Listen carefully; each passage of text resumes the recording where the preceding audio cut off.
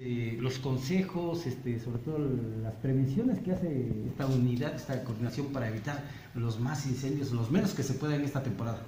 Fíjate que, bueno, primeramente ahorita tenemos nueve incendios, uno controlado y los demás tenemos Chimalapa, Reforma de Pineda, tenemos Tlacochahuaya y Tlacolula, el de ayer que tuvimos en el encierro ahí de la Fiscalía, este, tenemos aquí en Nuxá, la verdad es que es, muy difícil la situación.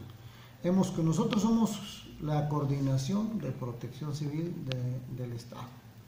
Porque luego nos acusan de que no estamos en el lugar, de que no hacemos algunas cuestiones. Para empezar, no tengo la capacidad en personal y elementos como para estar en todos los, los eventos estos. Eh, tratamos de cubrir lo más que se pueda pero aquí solamente coordinamos cuando son incendios en la capital, que de alguna casa o de algún pastizal cerca conurbado, una opción, con bomberos, con masa. Eh, coordinamos, estamos muy coordinados con ellos para hacer el trabajo, con el capitán Tuñón, que es el secretario eh, de Seguridad Pública. Luego, este, y cuando son incendios forestales o pastizales fuera de la ciudad, coordinamos con Coesfo, ahí con Pilo Chagoya o con el Liceo Estrella en Conafor. Entonces estamos muy de cerca con ellos. Entonces, la verdad es que eh, las cuadrillas que ellos tienen son insuficientes para atacar todos los incendios. Eh, los primeros respondientes que tienen que ver en cuestiones de incendios son las autoridades municipales. Ahí nosotros coordinamos, por eso la importancia que les decimos a todos los presidentes municipales de que formen su Consejo Municipal de Protección Civil, para que con ellos coordinemos qué es lo que tenemos que hacer en un momento dado de un incendio o de un pastizal, de alguna casa en algún municipio, eh, cómo poder atacar lo más rápido posible para evitar mayores daños o pérdidas de vidas. Por ejemplo, en Luxa ahorita tenemos tres lesionados, tres quemados son graves sus, quemaduras, no tenemos los nombres todavía, eh, ya están siendo atendidos, pero sí fue un problema serio. Entonces, eso es lo que tratamos de evitar. Nosotros coordinamos, vemos y en un momento dado tenemos un, organismo aquí interno que se llama Respuesta Inmediata, eh, que está a cargo del capitán Jubileo Ramírez. Eh, por ejemplo, el día de ayer, en la quema de ahí en el incendio de, del encierro de, la Fiscalía, inmediatamente nosotros coordinamos con bomberos, que llevó cerca de 60 elementos, coordinamos con el municipio de San Bartolo, Coyotepec, con su Consejo Municipal de Protección Civil, con la regidora de Ecología, que la verdad es que mis respetos para esa mujer que estuvo pero presente en todo tiempo. Es más, con ella ahí nos quedamos hasta las ocho y media de la noche hasta que vimos que ya todo estaba más o menos en calma para poder salir.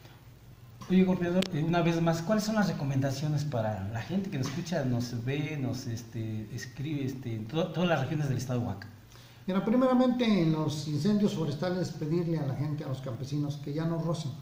El rozo es lo que ellos utilizan, una quema controlada, que le llaman ellos, para poder sembrar posteriormente, para cultivar maíz, frijol, no sé. Pero de repente van a rozar una hectárea, por decir algo hacen su brecha cortafuego, pero a veces no la hacen bien y les gana y se va y provoca un incendio mayor. Luego, por problemas agrarios que se tienen o de límites, también se prenden fuego entre ellos mismos. Que eviten ya ese tipo de, problemas para que no eh, estemos desgastando los bosques o estemos quemando los bosques eh, sin ninguna necesidad, porque eso también provoca que calentamiento sea mayor, ya ven con los fenómenos del niño y la niña que tenemos, eh, que está pronosticando muy poca lluvia para esta temporada. Entonces tratar de evitar ese tipo de, de, formas de quemar los cerros para cultivar. Ojalá lo puedan evitar totalmente los campesinos. Por el otro lado, en los pastizales sobre todo, eh, tratar de evitar tirar botellas de vidrio, eh, a veces vas en el carro, vas fumando y tiras la colilla a la orilla, está sequísimo el pasto que prende inmediatamente. Lo que más se prende en los bosques grandes es pino eh, oyamel, eh, el pino, pues de por sí, el opinocote, de por sí se prende rapidísimo, la resina que tiene es muy inflamable y inmediatamente se prende en ese sentido. Yo creo que eso es lo que tratamos de evitar. Eh, no limpiar terrenos a base de lumbre, porque a veces tenemos un terreno y le echamos lumbre y nos gana y de repente ya no, es, ya no nada más es el terreno de, 20, de 10 por 20, sino ya se fue a 2, 3 hectáreas la quemazón y eso es un problema para, para el calentamiento ¿no? y para las situaciones de poderlo controlar. Es fundamental también la intervención de bienes comunales y ejidales en las comunidades.